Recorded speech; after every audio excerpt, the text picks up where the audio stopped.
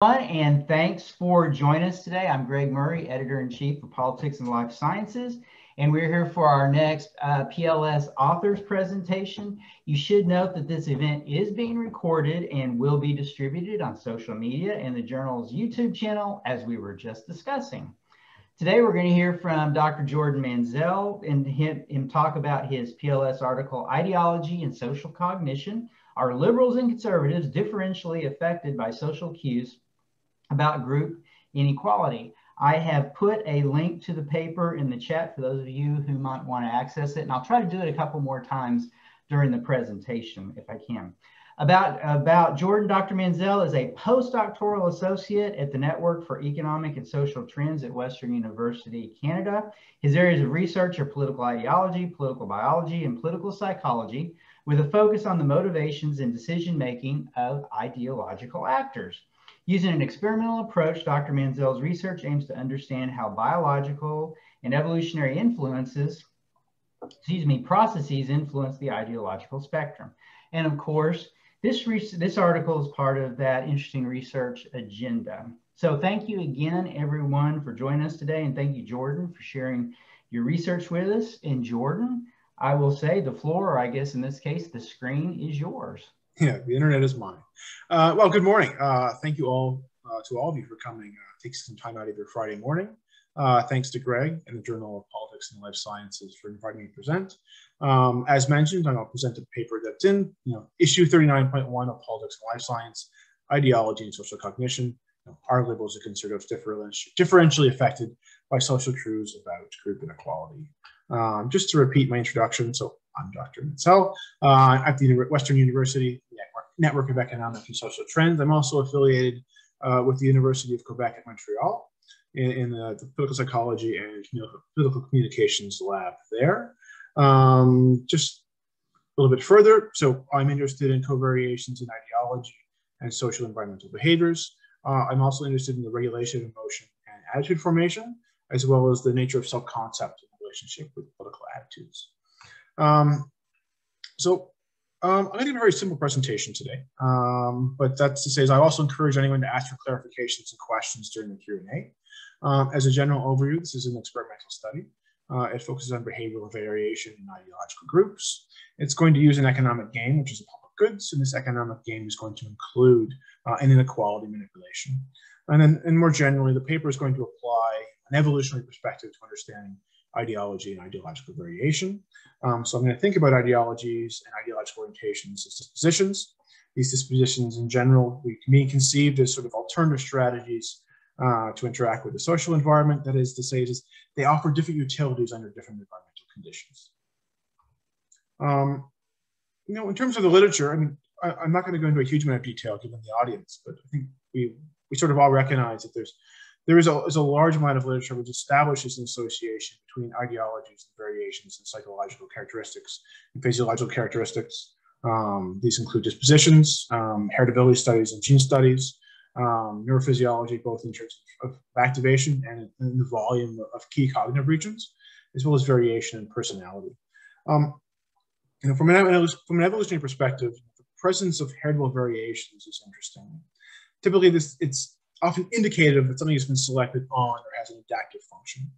Um, what's, what's further interesting is that a lot of the variation associated with ideological orientations concerns things like information processing, information categorization, and behavioral updating. So we're, certainly we're all familiar with the studies demonstrating that there's, in terms of neurophysiology, a tendency for, for liberals to be more reflective, to engage in, in cognitive updating and behavioral updating, as well as a tendency for conservative individuals to be more conservative with stability as well, stability, um, but also with you know, vigilance to the external environment as well as threats from the external environment.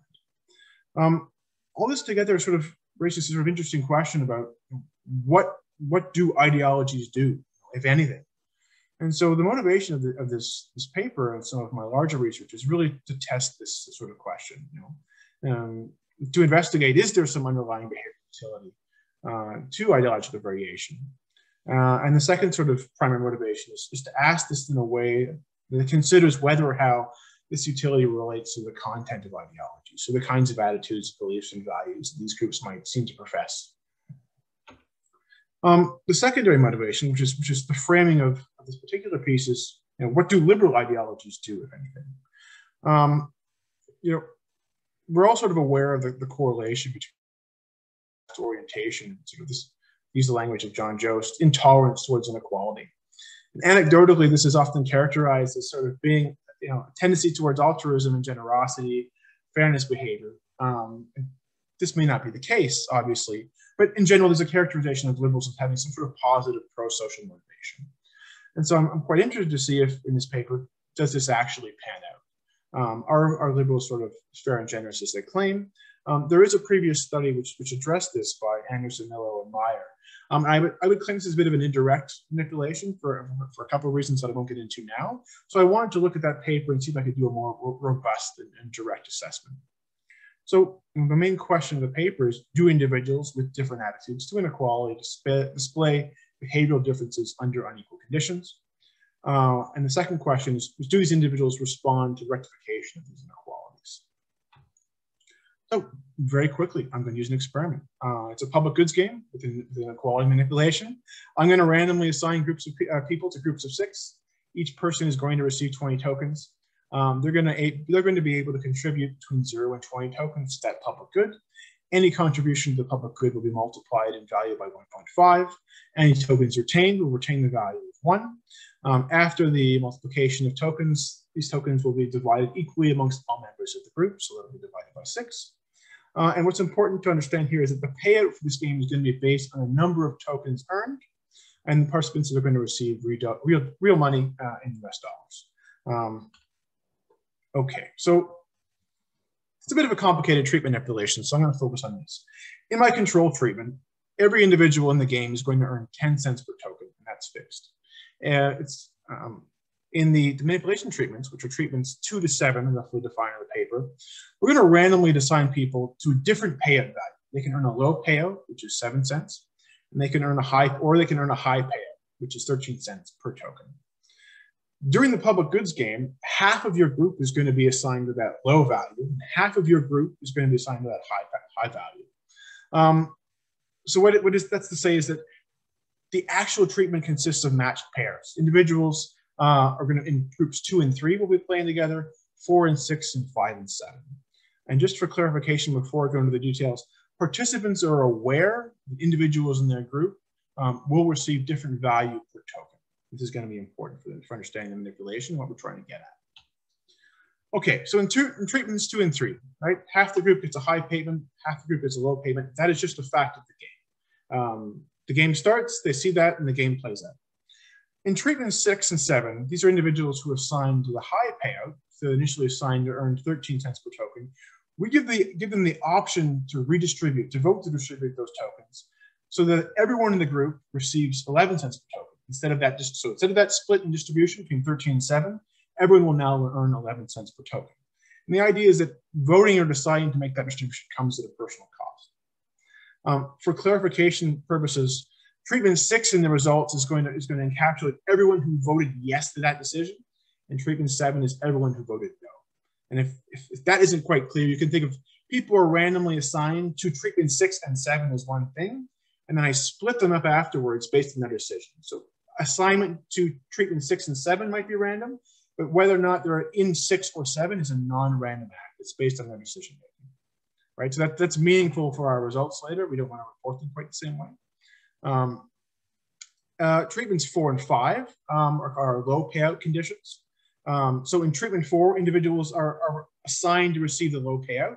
Initially, they're told they'll receive the low payout, but then they're told that their counterparts, the individuals in treatment six, voted to change the nature of that payout structure. In treatment five, the opposite is essentially happening. They're assigned to the low, the low payout condition, and then they're told their counterparts had the option to redistribute and chose not to. So then just a reminder again, two and three is playing together, four and six, five and seven. So treatments four and six have an, have an equal pay per token. Treatments five and seven have an unequal pay based on decision-making outcome, right? Okay, so expectations, general expectations first. In treatments two and three, I'm not expecting to see a, a difference in contributions. And the principal reason is why it's random and the participants know it's random. They're told prior to the game there's going to be an equal unequal payout. It's nothing to do with you, right? And so because it has nothing to do with the participants or the participants in that group, I don't expect to see a big behavioral outcome. Um, for hypothesis one, you know, the expectation is that contributions by liberals when they're assigned to that low payout condition will increase in response to pro-social cue, the decision to redistribute payouts uh, by other members of their public goods group, right? Um, second hypothesis, so I'll clarify. This is really based on the literature, and we talk about this in the paper, about the decision-making updating, the behavioral update being the processing of emotion that occurs or differentiates these liberal and conservative ideological groups. Um, so the second hypothesis then is that this change in liberals in response to this pro-social cue should be larger or in excess of what we observed for conservatives. And then the third hypothesis is that in the contributions of conservatives in response to being assigned to the low payout and to learning that other members of the group chose not to redistribute it to an equal payout, uh, we'll see a decrease, a corresponding decrease in contribution. And I'll, I'll note finally that I have no specific hypothesis or expectation about what liberals should do in, in treatment five, but we can talk about the outcome. Uh, general, uh, the sample, we use an online sample. It's uh, 1,245 observations from Amazon Mechanical Turk. Um, the mean age is 35. Um, ideology is based on the Wilson-Patterson Index going from negative 21 to positive 21. So this is a series of single issue item measures as opposed to symbolic ideology. Uh, the score in the sample is from negative 19 to positive 16. So the sample is, is, is, you know, slightly more liberal than it is conservative, which isn't surprising for an online study. Um, I've recoded this into a categorical measure, and for some people that might be a bit odd, but we can talk about the justification for that, you know, in the Q&A section. Uh, but there are all alternative codings in the appendix, including a continuous measure. And then in general, we're left with about 631 liberals and 416 conservatives. Okay, I'm going to begin just going right into the results. So hypothesis one, are we going to see an increase in contributions for liberals in response to a pro-social cue as treatment four? We do. Uh, we can reject the null for this. So it's about 2.6 units from, from, from 20. Uh, in terms of standard behavior for an economic game, this is a fairly large effect. Um, you know, it's more, much more common to see increases of, of one and, less than two units. Um, hypothesis two, does, does this effect for liberals exceed that of conservatives? So this table, you know, captures the difference between the two groups. And we see that there is a very large difference that on average, liberals contributed, you know, 3.4 more tokens in this treatment than conservatives did, uh, which is a very large effect. Um, again, and hypothesis three, um, do we see a, a corresponding decrease in contributions um, by conservatives in response to treatment five, you know, learning that your, your counterparts in group decided not to redistribute the payouts. And in fact, yes, we see this effect. Again, it's a fairly large effect. It's about 3.1 tokens, um, and it's statistically significant. Um, really quickly, in terms of our expected outcomes. So as expected, we don't see a difference in contributions uh, for treatments two and three. Um, some additional results worth mentioning is we didn't state a hypothesis for the liberals in treatment five, but we do see that their, that their uh, pardon me, the contributions do decrease and it is statistically significant. Uh, and finally, what's important is we see no difference in, in the decrease in liberals and conservatives between that treatment, or pardon me, pardon me. Uh, we don't see a difference between liberals and conservatives in the decisions redistributed. So when we go back to individuals who were assigned to treatment six and treatment seven, and we ask them, do they want to redistribute their, their high payout for an equal payout. Liberals and conservatives do this approximately the same, same rate or same proportion of the population. Um, you know, conclusion. So, you know, observe differences between ideological groups. Um, yeah, there are differences um, between these groups. That in response to a pro-social cue, the redistribution of decision of other group members to redistribute payout, liberals do see uh, an increase in boost in, in contribution.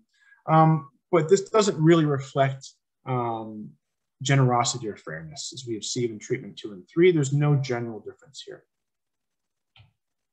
Um, really quickly, I'll, I'll, make a note about the literature. So when this study was run, there was very few papers that looked at behavioral differences between liberals and conservatives, specifically in the context of an economic game. So there was one paper by Anderson, uh, Milo, and Milo, 2005, and sort of an indirect paper by, by Alford and Hibbing. Um, there's also a number of papers that look at sort of pro-social behavior and group behavior among, among partisans. And a number of papers have suggested this is the same thing, and I, I just want to emphasize this is probably not the same thing, in part because their partisan IDs are often disclosed in these studies. So they're, they're, they're aware they're interacting with individuals from different groups. Um, what is important is there's recently been several papers which seem to replicate the effect here and the effect I have in other studies. So this, this piece is a piece by Thompson et al. I have a previous party, which is previous piece, which is in, in Apples. Um, a recent piece in political behavior by Gunridge and Bruder, which has just come out. There's also a forthcoming piece by Scott Claessens, who's in New Zealand, who does, who's ministered I think up to a dozen economic games and seems to find consistent results. And I also have a replication study with Michael Bang Petersen, which is which is forthcoming, which seems to find the same kind of behavior using the Iterated Prisoner's Dilemma. So overall, all the, the effect seems to hold, uh, with the possible exception of the Thompson paper, where there's some, some sites of differences were observed. Um, so that was very quick. Um, that was generally the focus of the paper. Uh, I'm really happy to take any questions and to clarify anything that was unclear. Thank you so much, Jordan. It was very interesting. I remember when I made my final read of this, working my way through. It's very interesting. It's a very interesting sophisticated paper. All right, so I'll open the floor to folks who might be interested in asking questions. Does anybody have any questions for Jordan?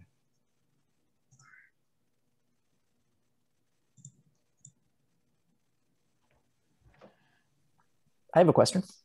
Okay, Carter, go, I'll ahead. go ahead. Yeah, you can, you can go ahead and see me. Um, so Jordan, do you expect any any biases uh, coming from the fact that you're using an online study? I know you mentioned that there were more liberals signed up than conservatives. How did you how did you deal with that? Um, so yeah, so for this particular study, did I deal with it directly? No. So we generally do expect some biases. It's in the it's in the conclusion of the paper, but you know we do find that people who who are conservative or identify conservative in online samples are not necessarily as conservative as some of the other members of the population, or at least if they don't generalize well to sort of the whole gambit of, of, of traits. So in, in this study, it's not directly controlled for. I, I will add though in a future study, what, what I did was I make a specific attempt to, to balance demographics across liberals and conservatives. So balancing education, balancing on age, balancing on sex, um, those kinds of traits. Um, I will say is, is perhaps a simple proxy. The sample was drawn from a larger sample of several thousand individuals. It's tried to get as close to balancing those things as possible, but I, I don't think I quite get there. Okay, thank you. That answers. Thank you. But so there is a chat question from Patrick. So he says, "What are the policy implications that you see for this?" What are the policy implications? So I often think about this in the context of past political campaigns and the tone of past political campaigns that focus on positive framing versus negative framing. And in this paper, and I would I would argue across other aspects of the literature, there does seem to be a suggestion that liberals tend to be respond to or are more motivated by you know positive tones, positive messages, positive things. So in terms of policy implication, you know, highlighting the positive motivational aspects of something might be meaningful for for for, for policy development or positive for me, policy framing. Um, so, from more of a marketing perspective, you're saying. From a marketing perspective, I mean, so if we go back to the question that sort of Anderson, Mill, and Meyer raised, are liberals more socially oriented? Are they more generous? Are they more fair? Um, I don't think that holds. I think what we see is that they have a tendency toward certain kind of environmental conditions, perhaps environmental conditions that move boundaries, um, or which attempts to address ambiguities and uncertainties in a, in a sort of pro-social manner. But in terms of policy framing conditions, like what policy you're going to, you know, propose, you know, ultimately we after the fact that these two, if I'm if if I'm right, if the literature is correct, these groups do respond, I, liberals and conservative oriented individuals respond to very different kinds of conditions. I don't yeah. know if that's easily responded to in a, in a, single policy, because you know, directing a policy towards Grun group may bias its reception by. Yeah. Does I mean, do your result? I'm sorry, I'm going to jump in since I've got my mic on still. So do your do your does this have anything to do with virtue signaling? Could it be that liberals are more sensitive to virtue signaling than conservatives? Okay, so this, this piece comes out of, of, of my, my larger body of work in my doctoral dissertation. And the suggestion is that, that I see, at least what the evidence I see, is not that it's virtual signaled by liberals. It's that general liberals are applying a pro-social strategy. That is, they're just generally open to engage in cooperation They see cooperation as a positive benefit, and they're interested in removing obstacles to population. So, presented with an opportunity to engage in a pro-social activity, their default is to say yes. Um, I tend to think of virtual signaling as being most associated with conservative orientation because it has greater concern for normative violations and threat. And so in that context, virtual signaling isn't necessarily about signaling is about signaling and telling people others that I'm not a threat. I'm reliable. I'm doing the following things. We have the following norms in the, in the population. They tell us we should do the following things. I'm an example of someone who follows the norms. I follow the rules. I can be trustworthy. And you can imagine in a population of individuals who are highly sensitive to threat, you know, the lack of a clear signal would be would be meaningful complication. Mm-hmm. Okay, I think that makes sense. Can you see the chat? Alex asked a question. Can you see the chat? I should probably read it. Let me read it and then what you think about it. How, so this is from Alex. How would you expect your results to be affected by manipulating what participants know about group composition? For example, would you expect similar behavior from liberals and conservatives if they are in a group with co-ideologues versus an ideological outgroup? For instance, people may perceive non-cooperation differently if it's by an in-group versus out-group member. It's a very interesting question. I've tried to do this in a study using variations in, in normative perceptions and ended up being very, very messy. Um, in general, what I found though is that there, when individuals shared a, a, similar norm, I found a similar effect in liberals that they showed a greater increase in, in cooperativeness and prosociality. Um, and again, I found a larger effect related to when the group did not share a similar norm amongst conservatives. So conservatives were, were less likely to engage in prosocial behavior, especially when it was considered to be a normal violation. Uh, so from the first standpoint, I would expect the behaviors to generalize when there's disagreement amongst the group. I would expect uh, conservatives to be more sensitive to threat and liberals to be more pro-social.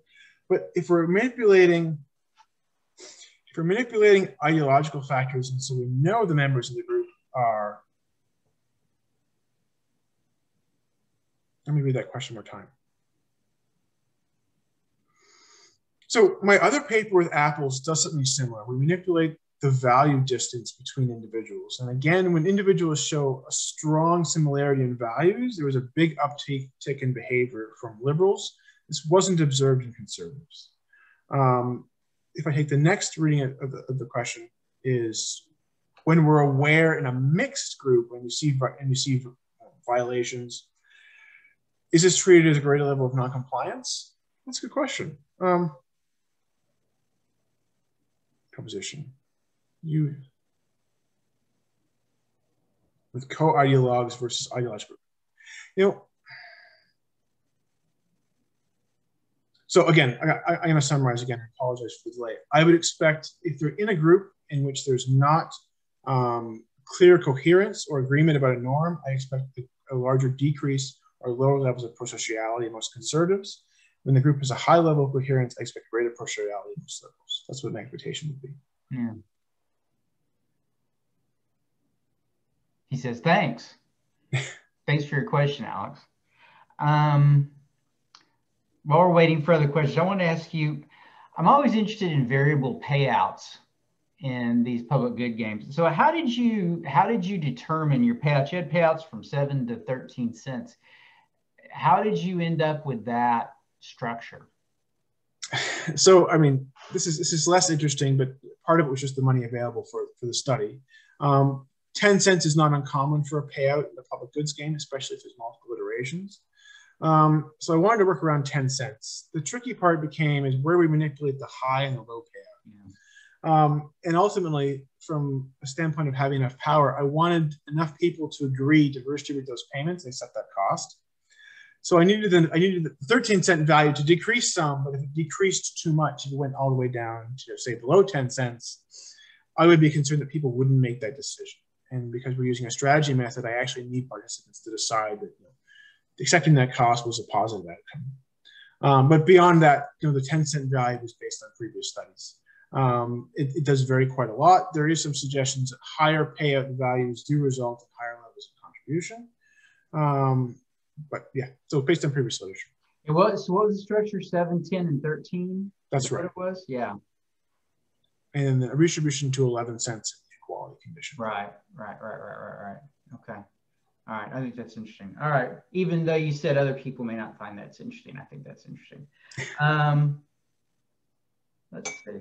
You'd also mentioned you recoded your, I think you said your re, your ideology variable to a categorical variable, and you said there was something behind that decision. Can you talk about that a little bit? Yeah, so having done a number of studies looking at you know, behavior of liberals conservatives during economic games, is there's this question of what do people in the middle of the spectrum do? We obviously want to, we tend to treat ideology as a continuous measure. When I look at the outcomes of individuals at the center of that measure, I've I frequently observed that they don't necessarily do do something that clearly defines them as being on a continuous spectrum. Because they often do what liberals do in one condition, or what conservatives do in another condition.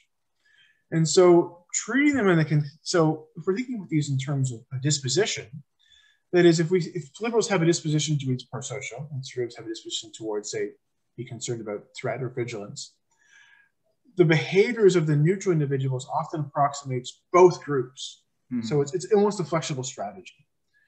Um, I think this creates, so in other words, neutral, so if liberals are doing one thing, they're being pro-social, conservatives are being, let's say, risk averse, the strategy of neutral individuals is better encapsulated as, as a third alternative, right?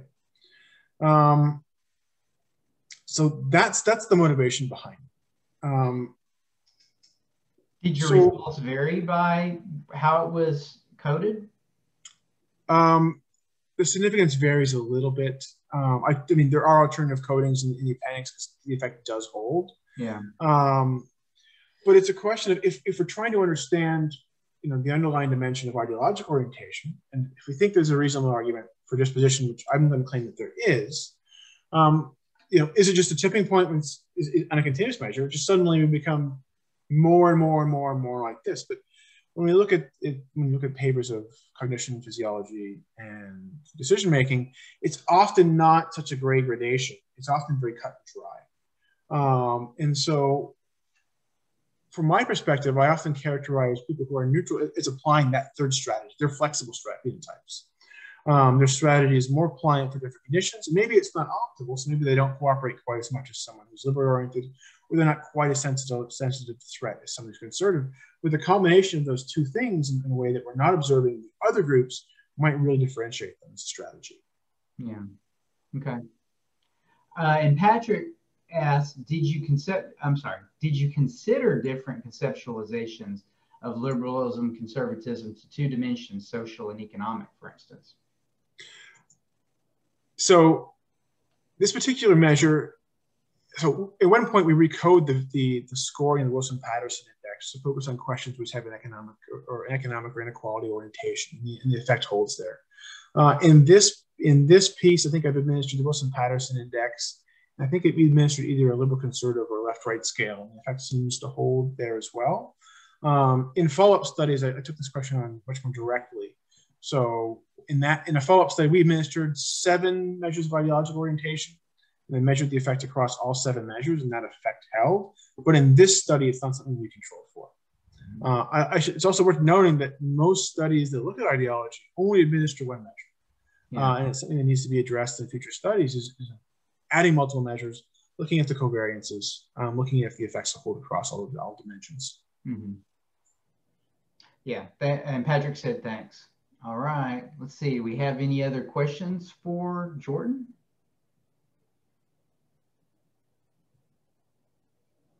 All right, seeing none, I think, Jordan, did you have anything else you wanted to add? Oh, well, thank you very much. Uh, in general, um, this is an ongoing area of research for me. So if anyone has any questions, comments, concerns about what needs to be addressed in future studies, uh, I'd love to hear them. So please share those comments with me directly via email. I'll look me up uh, I'm happy to chat about them. All right. Thank you. Thanks, Jordan. Thank you again. Thank you, everybody, for coming today. And um, actually, I will I will uh, chat where this will end up, just so you guys can see it. Let me throw that in there real quick, so you got it. I think that went. And um, thank you all. Take care and stay safe. Thanks, Jordan. Thank you very much. Take care.